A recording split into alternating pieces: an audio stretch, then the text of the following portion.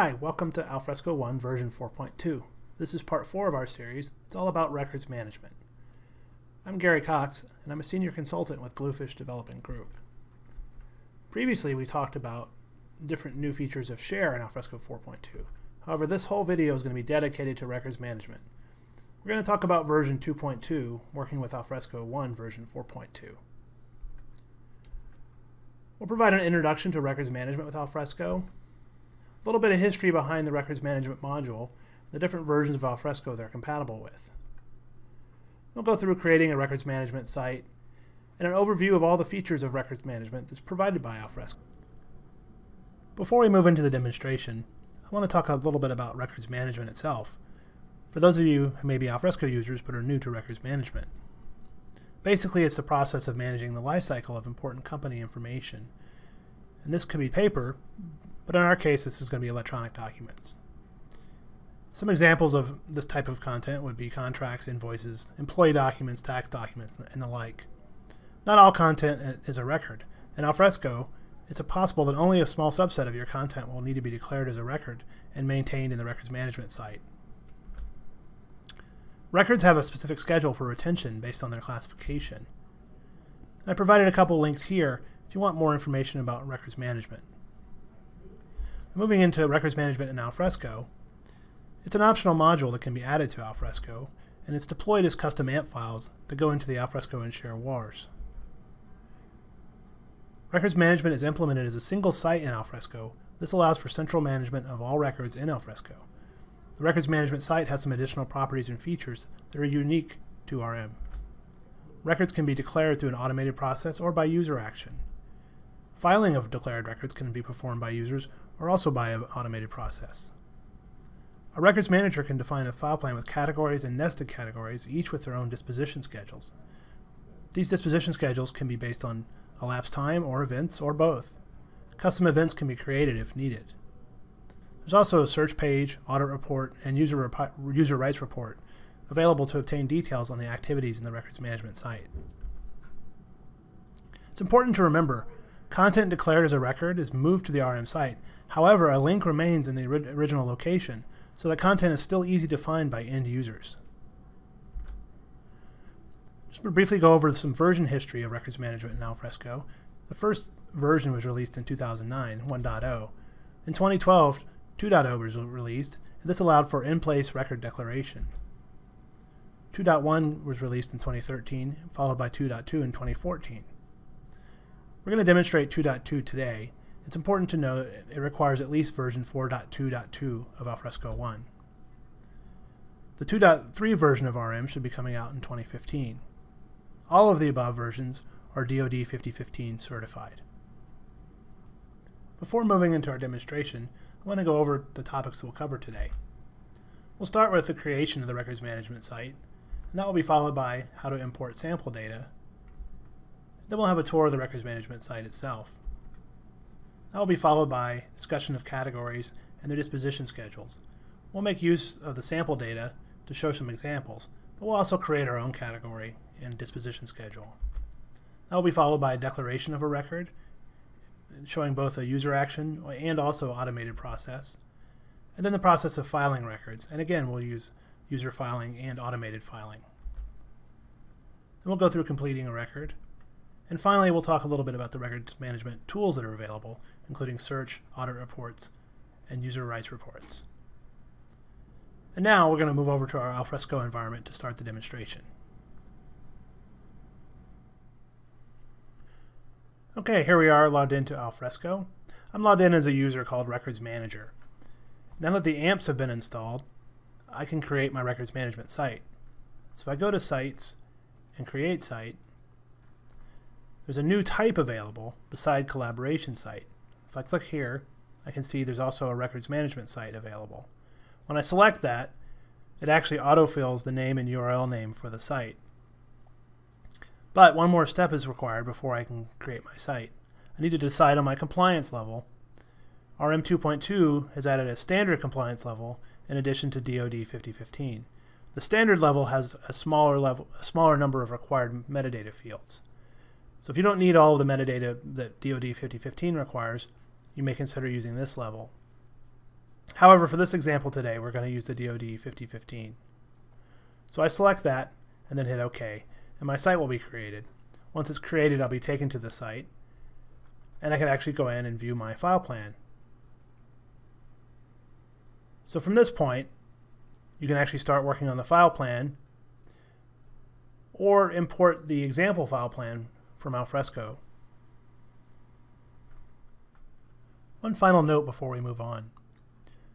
I showed here when creating a records management site the standard and DoD 5015 compliance levels.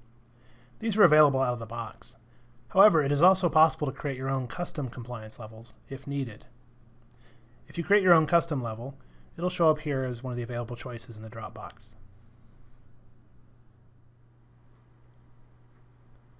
So rather than starting completely from scratch with my file plan, going to make use of some Alfresco test data that's provided. This test data provides a sample file plan that you can use. Now, it's certainly not required that you install this test data, but if you just want to see an example file plan, it's a good place to start. So to install the data, if you go to Customize Dashboard on your records management site, you can add the RM dataset import dashlet, and I've added it here to my dashboard. So when I go back to my records management dashboard, the import dataset dashlet's now available. If I can select a dataset, you can see there's a DoD 5015 example dataset, and I'm going to import that. Once that's finished importing, if I go over to File Plan, you can see several different categories have been created. So we can use these as examples for our demonstration. Before moving further into the demonstration, I wanted to do a brief tour of the records management site. In many ways it looks like a regular share site, however records management sites have additional features that are worth noting. First of all, there's a file plan instead of a document library. This is where your categories are contained. These categories may have subfolders as well as subcategories as well. You can navigate by clicking on the, the category name or by clicking through the navigation panel on the left side. There's also the ability to quickly find unfiled records, holds, or transfers as needed. There's a set of saved searches that are available out of the box, but you can add additional ones as needed. Records Management has its own custom search feature, lets you constrain your search through a variety of metadata fields, and then specify which metadata values you want in the result set that's returned. Results are displayed in a tabular form here. We currently don't have any data in the system, but later in the demo we'll come back to this once we've added a few records. Records Management also has a Tools console where you can run an audit report that can display detailed activity in the system. The audit report itself can be filed as a record if needed. You can also add custom metadata, define custom roles, although there are several out-of-the-box roles already provided, set up email mappings to store your emails as records, Utilize out-of-the-box events or create your own new events, which we'll demonstrate during this process later on. Add values for supplemental markings or transfer locations. Set up relationships and run a user rights report. This gives you a granular view of which users have roles in the system. So that's it for the quick tour. Let's go on to the demonstration. We're going to start with setting up our file plan. Since we've imported the sample data, we have a set of categories, subfolders, and subcategories already created for us. So we can use those as an example. However, then we're going to go through the process of creating a new category and then filing documents into that category. You can see the folders with this icon are categories. These don't have disposition schedules, but if we drop down one level, you can see with this icon that all of these categories do have disposition schedules. If you click in can actually view details and see the disposition schedule for a given category. When you create a disposition schedule, you can define the disposition authority and provide instructions here, and then provide the actual disposition steps. In this case, records that are filed into AIS audit records are cut off at the end of one month, and then will be destroyed one month later. You also have the ability to define whether these are vital records and need periodic review. In this case, these are. So these, this sample data provides a good starting point for reference.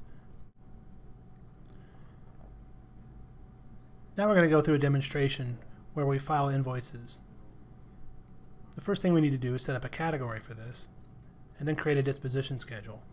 We're also going to create subfolders under invoices based on the fiscal year. Once we've done that, I'll demonstrate adding records directly into the records management site, and then by declaring records either manually or programmatically from an accounting site. So let's create our category for invoices.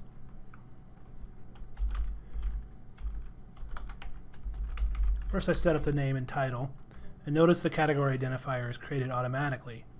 You are able to edit this at the time of creation if you want to, but once it's been set, you cannot go back and change it. If needed, you can indicate these records are vital records. In our case, they're not, so we're just going to hit save. And then we're going to create a, a disposition schedule. Normally, when you create a disposition schedule, you'd refer back to a disposition authority for these this category. Uh, we're just going to use demo here because this is just a demonstration. And we're going to say cut off at fiscal year,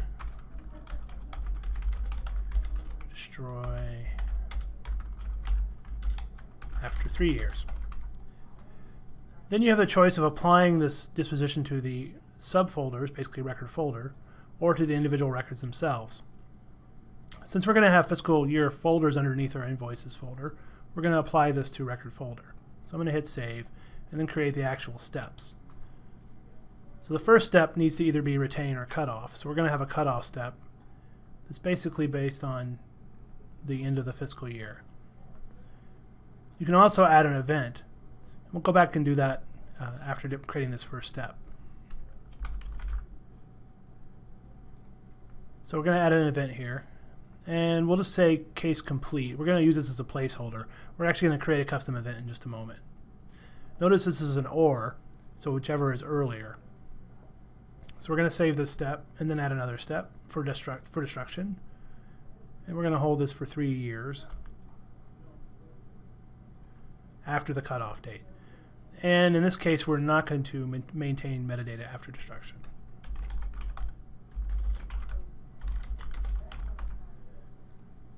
So we'll save these steps. Once that's done, we can create our subfolders. So I'm just going to create a folder manually. Then I'm going to demonstrate how you can automatically generate folders as well. But we're going to create a 2014 folder and hit save. This is the icon indicating that this is a, fold, a record folder versus a category. Notice the folder is still open. If you close it, you can no longer add records to the folder. We're going to go in here, and I'm actually going to show importing a record directly. We're going to use the file command. We're going to import an electronic record. And I'm going to drag in an invoice. And it's already entered into the record management site. Now, you can complete the record, but notice when I try to do that, it tells me that metadata is still required. So we're going to edit the metadata. And I'm going to set required fields here.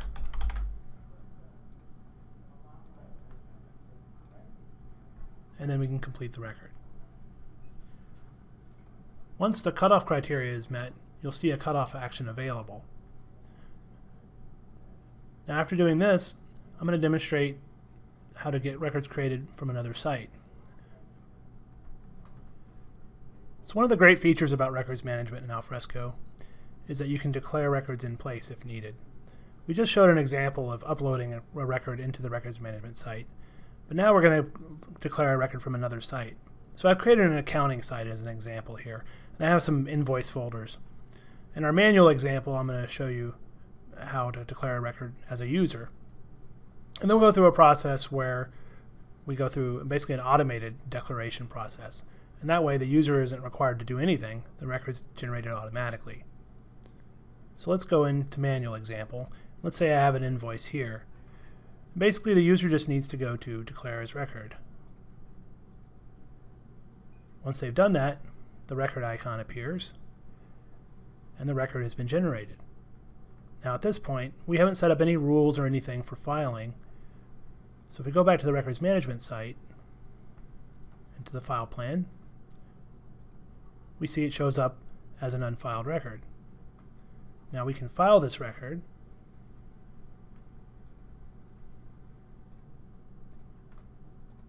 just like that. And then once we've done that, we go view the record. We can complete it just like we did the other record. So that was a pretty much a manual process all the way through. It was manually declared a record, and then once in the unfiled records, we had to manually determine how to file it. And it's certainly feasible to, to work this way. However, it's possible to automate both the, both the declaration and the filing of records. So now we're going to demonstrate that process. So we demonstrated uploading records directly and manually declaring a record in place. Let's talk about an automated process. So here we have an invoice, and I put a simple workflow on it just to basically say it's been completed. So we're going to move that off, and it goes into this automated record creation folder. And you can see without the user doing anything, the invoice has been declared as a record. If we look at the rule for this folder, there's basically a declare action, declare as record action. And at the time you declare the record, you can decide whether you want to hide the record or not. If you say no, there will be a link from the record to the site still. So it's easy for the user to still find the invoice. The link still remains in the invoices automated folder. If you decide to hide the record, then the record will be moved to the record management site and there will not be a link provided here.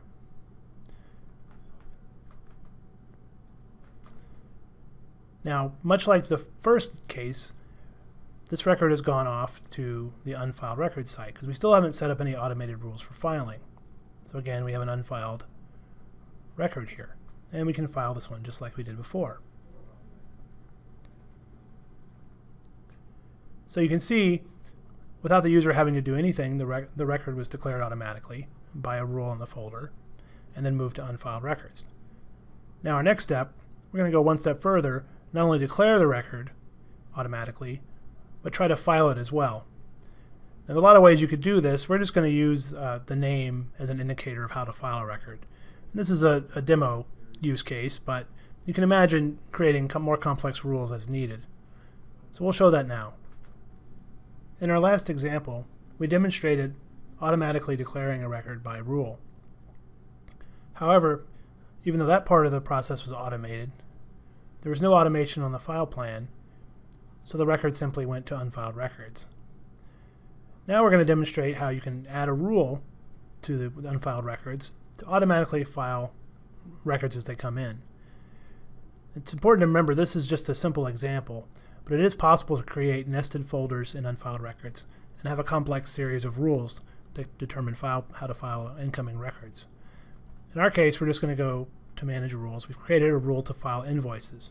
Now because I'm just using the out-of-the-box model and everything, an easy way to demonstrate this was just to look for documents that begin with the name invoice. And if they meet that name, these both these criteria are met, then the document will be filed to this path, invoices, and then fiscal year. Now, one of the neat features here with the rules are you can use template variables. And we're going to use date.year.long, so for example 2015. Now in our invoices category, we don't currently have a FY space 2015 folder, so we're going to say yes, create record path. If you put no here and the folder didn't exist, then you get an error thrown. So now we've created a rule to automatically file our incoming record. We can go back to the accounting site and this time I'm just going to copy my record, my uh, document directly into this folder where it gets declared rather than using a two-step process. It should work either way, but this is a easier demonstration. So I'm going to drag my document over. And you can see again, because of the rule in this folder, the document's automatically declared as a record. If I wanted to, I could hide this to hide the link. However, I'm going to leave it here. Now when I go to the records management site, I go into the file plan and unfiled records, you can see there's nothing there. Now if I go into invoices You can see that a new folder called FY 2015 has been created and my invoice has been filed there. And I, then I can go through and add the metadata that's required and complete the record as needed. Now earlier we had created a disposition schedule for our invoices and I mentioned that you can create custom events. We just used one of the out-of-the-box events, but I'm going to go through the process of creating a custom event and adding that. If you go to Records Management Tools and to the Events list, you can add new events as needed. A simple event will just appear on either the record or the record folder where a user can select it and cause the event to be fired. You can create new events. It's important to know when you do create a new event, uh, you cannot go back and delete it. It's permanently added. But we're going to create one just as an example. We'll call it manual cutoff for this example. And it's a simple event. So I'm going to save this event and go back to my folder.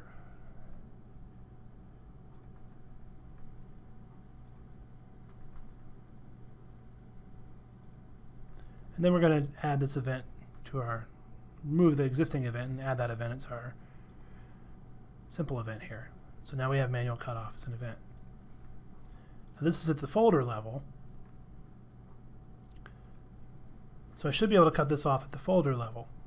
Now once you once you've fired an event on the folder level, all the records contained within that folder are also cut off. So right now, we don't have a cutoff action. If I go to fiscal year 2014, when I open this up, I can see there is actually an, our manual cutoff event available. So I'm just going to hit complete. So now, rather than waiting on the time variable for cutoff, an event has been fired. And notice I can now cut off this folder because the event has been fired. If I cut off the folder, all the documents that are contained in that folder will also be cut off. Now if you do a, try to do a cutoff action and the, doc, the records contained in the folder are not complete, the cutoff action will not succeed. But I've gone through and completed the records contained in this folder, so it should succeed. You can see it's now been cut off. I don't have any events set up for the destroy step, but you could add them to that step if needed. And when I go into the folder now, you can see all of the records contained in this folder have been cut off as well automatically.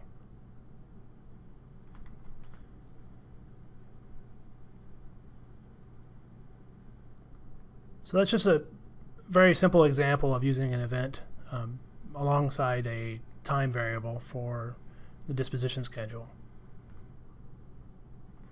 Now that we've added some records to our records management site, we can actually perform a, a record search and get back some search results. I'm going to do a very simple query where I look for the name field and again I'm going to look for the word invoice and I'm going to leave the standard metadata settings in place. When I search you can see a nice tabular result set. Notice I only see three documents that have come back go back to our criteria, you can see that I've asked to only return records that are completed. So I have several records that are in the system that have not yet been completed. So let's include incomplete.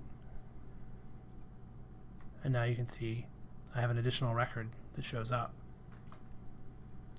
If needed, you can actually do ordering and also save a search as needed and then use it later. And now you can see it appears under Save Searches. The result set comes right back. So it's a really powerful tool for searching within records in the records management site. The last feature we want to demonstrate today is the ability to put a hold on records. And you notice in the file plan you're able to click on holds to see if there are any active holds. There aren't any currently, so we're going to create a new hold for demonstration. And we'll just call it legal hold. Once you've created a, a hold, you can add records to that hold. So let's go into our 2014. And we're going to add these two records to a hold. Now that I've created a new hold, I can select it from the list and put it on hold.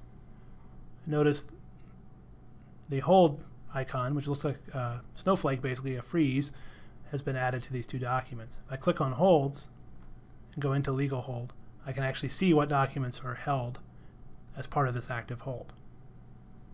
So this is a good feature if you need to freeze documents from being deleted uh, as part of a hold.